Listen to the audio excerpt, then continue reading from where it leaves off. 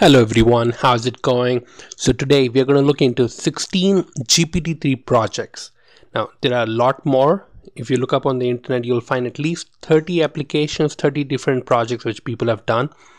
But these 16 are ones, the one which I personally liked. I mean, all of all of them are, don't get me wrong, all of them are very interesting and mind-blowing. But these 16 stood out really for me and I wanted to share with all of you. So you can see this first project it's uh, basically a blog and uh, this gentleman by the name Liam Porr so he's a college kid and this made a lot of news and was picked up by many news articles. So what he did was he used GPT-3 to create a blog and that blog for some reason got viral. On hacker news it happened to rank on the first. So this particular blog over here feeling unproductive maybe you should oh, stop overthinking by the name Adolos. So Adolos is just a fake name which he created. And this blog ended up ranking the number one in Hacker News. And it's just not this. He wrote a few more blogs and all of them ended up being viral and that was written by an AI. The title itself, this title over here, is all written by AI. And people read it like anything. People even subscribed to the blog, and this became very viral. So you can see right here this this line stood out for me. So it's the writer is saying it was super easy actually he says which was the scary part. And uh, that was really funny. So yeah uh, i'll leave the link for all of these blogs all of these applications below so that you can see for yourself. And we're going to go into the next one. So this is by a gentleman by the name paras chopra on twitter so he created a search engine kind of page where you can put down any question and it will look up the internet and come back and give you the answer so here, for example, he's giving out information. He's asking questions about what the self gene is. He's even asking about questions about what when did Mahatma Gandhi or who killed Mahatma Gandhi, and it's giving out information that it was Nathuram Godse. So it's able to pull out information from the internet and give out results. So I'll leave the uh, link for this particular one. Uh, it looks like a search engine, but it's more. I feel it's more like a chatbot, but with more of a user interface. So where you can ask questions and it can answer answer you. So going to the next one. Now this one stood out really for me. So this is where a person created a code. So you can ask you can give out real word sentences well, for human layman terms. And here it's asking the ai to create an ai so that's why it's called as an inception. And here is giving out an information to create a data set of 2050 uh, to create a data set of images. And then create a machine learning model out of it.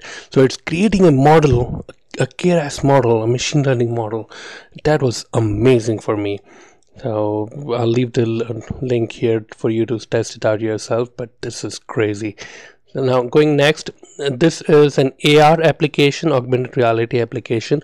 So here what he's doing is the camera is pointing on the text top here and in the bottom if I bring your attention down here the AR is creating a summarization or some kind of a poetry based on this text.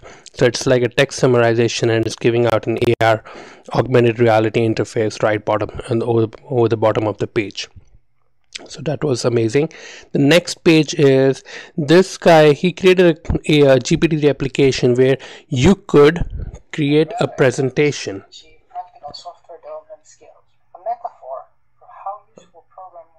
I muted the volume so that way it doesn't bother. But uh, this is basically creating a presentation a PowerPoint presentation based on what it has given. It's just giving it a title and the whole GPT-3 is able to develop this presentation here. So coming down here the next one. So this is creating a uh, Figma design. So something where you are you can be able to design it could be a mobile app or a web design but uh, more like a user interface so that people can see what the end product could look like. So it's like a template design and you could say what kind of application you need and it can develop. So you, he, he wrote what to um, that he wanted to develop or write a red color box red color blue color box and it's able to design it for the user just by by layman terms English word commands. Now next uh, this is by a user named Nikita Jerschow. So he created a chatbot. He create, he brought two GPT-3 AIs and he made it. He made both of them communicate. So you can see they're all both communicating with each other. So next is by this user by the name Sharif Shameem and it's a very old one. So he's creating a React JS application where you can ask to create a button and it will create a HTML page, HTML button and a code snippet for you. So you can see there's an HTML code snippet and it's asking just giving out English sentences for what it needs to be look like and the GPT-3 is able to create a code, a full code, a functioning code that you can use in your own websites. So this was amazing and that is by Sharif Shameem. He had he had another one. So this is also on Twitter. So Sharif Shameem, if you look up on this, this is creating another React JS application where it's doing addition and subtraction. So it's asking for to create a button which going which is going to add three dollars and another button which is going to remove five dollars, but also it should show the balance that is left. So you give that command and if you press on generate over here and it's able to create two buttons right here. You can see add three and withdraw five dollars. And it's giving out the balance right here. So GPT-3 is not only able to understand your sentences but also do the subtraction addition math in that. And of course generate that code which you need the react.js code that you can use. So this was amazing for me. And we'll go to the next one so this is another user by the name Amjad Masad. So he created a GPT-3 application on a Python application on a Python file. So it's able to read the Python file and you can ask questions in plain English language what this code is doing or what this line of code is doing and it can read and understand that Python application and it can give you layman term answers in simple language what this code is doing so that was amazing and this is on twitter uh, again the description will be the link will be in the description which can be easy for you to understand uh, the next is this GPT-3 application where this person created a resume generator. So you can just provide basic information and you can say that this is that I'm a software engineer and I'm working in so and so place and this is what I know and it will go ahead and create a resume for you. Imagine that so it's you pressed and you gave just these two lines of codes and stating this is what we need and it's able to generate that code for you. So this is a resume generator application on GPT-3 now next is this application. This is a person who created a meme generator application on GPT-3 so you can see it's able to create different types of sentences related to these images right here as a meme so that was cool as well. Now coming on to the next one this is by uh, the company plotly and they're into plot generation. So what they did is I'll, I'll, leave the description I'll leave the link. It's basically uh, you can give out simple sentences right here on the top bottom. And you can say that this is uh, what I need and this is the type of bar or graph I need. And it will give out the graph it will give out the bar graph. So you can say that uh, simple language. In my backpack I have three apples five pears and two oranges. And it's easily going and creating that code for us and it's creating those bar graph for us based on the information that we are providing. So it's mind-blowing the way GPT-3 is acting. And this is just the beginning. The, I mean the API is not even public. These are a few handful of people who are making it. And it's private now and people are able to do so much. Imagine the moment they open it source and open for other people to use it. So this is another amazing application. Uh, the screen is not so easily visible but what he did was you could go onto this page and you can ask questions about people historic people. Like you could ask about washington you can ask about uh, mahatma gandhi you can ask about different old historic legends and ask them questions as though they are present in real life with you right there in the moment. So you can see. Okay. tell me a little bit about why you think you were such an effective leader america's first president. I was a born leader. As a child i was very disciplined and grew up quickly the others in my village liked me a lot because I was fun and a good friend. Many saw me as an excellent fighter but not too threatening, They saw that I was an optimistic person with a willingness to help all kinds of people around me.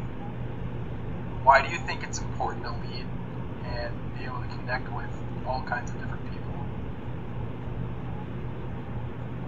I believe that in order to be a great leader, you must be able to relate to all kinds of people.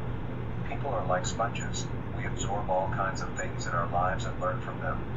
It is important that a good leader take this in. so that was amazing for me. Next one is by this gentleman by the name McKay Wrigley. So he created a simple application, so which is more like a educational purpose, where it's able to create 10 questions from the American history, and it's also able to answer those questions. So the GPT-3 model, you can create a test paper, a question paper for students, and it can also create the answer key for the same questions. So it's the information is all collected over the from the web. They're they've parsed to several of Wikipedia articles and they have information and you just ask them and can able to generate that code for you as simple as that. Now the next one is by this gentleman by the name Yash so you provide simple uh, simple English terms about financial documents. So about the amount of money you have spent on goods amount of, uh, amount of uh, money you have spent or taken the profit and loss. You give out simple simple terms. I'm, I'm not a financial person and creating these financial sheets is very daunting tasks. But by creating simple English term sentences OpenAI GPT-3 is able to create and code this Excel spreadsheet and create that financial statement for us. So this is all using uh, open source and this is by using the OpenAI GPT-3 API so this is very amazing and it's something to really look for. And definitely i mean it's it's not even a few months since gpt-3 was released and you can see so many applications already in the market and i'm sure this is going to grow and by the end of this year you'll see tons and tons of applications so with that i come to the conclusion. If this is something that you really like go ahead and subscribe to the channel and uh, let me know what other types of videos or applications you're interested in in the comments section below and i'll be happy to look into for you. And if you're running into any issues feel free to share and we can see how we can solve it. With that take care stay safe bye bye